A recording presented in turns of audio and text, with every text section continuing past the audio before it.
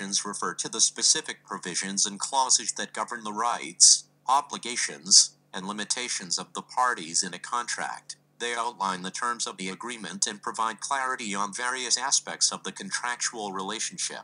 Here's an example of terms and conditions in a contract. Example Software License Agreement License Grant. The software company grants the user a non exclusive, non transferable license to use the software for personal or business purposes during the specified term. Scope of use the user agrees to use the software only within the permitted scope outlined in the agreement. This may include restrictions on the number of installations, users, or specific usage scenarios. Intellectual property rights. The agreement may include provisions stating that the software company retains all intellectual property rights to the software. It may also address restrictions on copying, modifying, or reverse engineering the software. Payment terms the terms and conditions should specify the payment obligations of the user, including the license fees, payment schedule, and any applicable taxes or additional charges. Support and maintenance the agreement may outline the software company's obligations to provide technical support,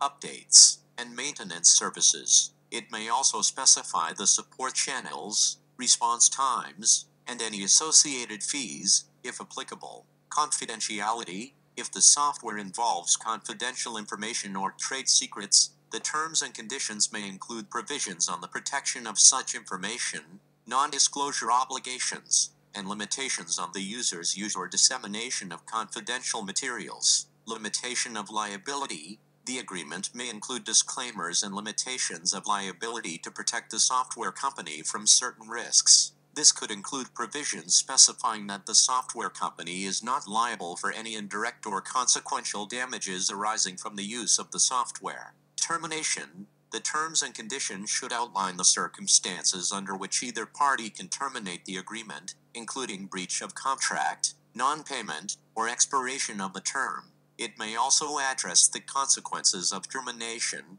such as the user's obligation to cease using the software. Governing law and jurisdiction. The agreement may specify the governing law and the jurisdiction in which any disputes arising from the contract will be resolved. These are just some examples of terms and conditions that may be included in a contract. The specific terms and conditions will depend on the nature of the contract, the parties involved, and the subject matter of the agreement. It is important for the parties to carefully review and understand the terms and conditions before entering into a contract to ensure their rights and obligations are clearly defined.